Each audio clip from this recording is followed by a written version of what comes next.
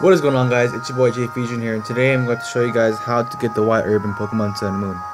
So basically if you want to get the white herb, you're going to have to have beaten the Elite Four already and you have to have access to the battle tree on the 4th island of Poni Island.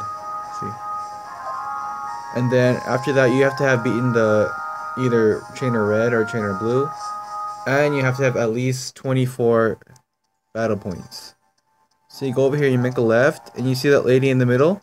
You talk to her Welcome. Do you want to trade your in your BP for some prizes? You click yes. And then as you can see, you go down right here. The white herb is right there. And it's 24 BP. And here you can also get the mental herb and power herb too if you want them. So I'm gonna go ahead and buy one and show you guys. One, yes. And there you guys have it. That's how you get the white herb in Pokemon Sun and Moon. If this video helped you out, please like, comment, and subscribe. It's been your boy Jay Fusion, man. Let's get it, man. Let's go.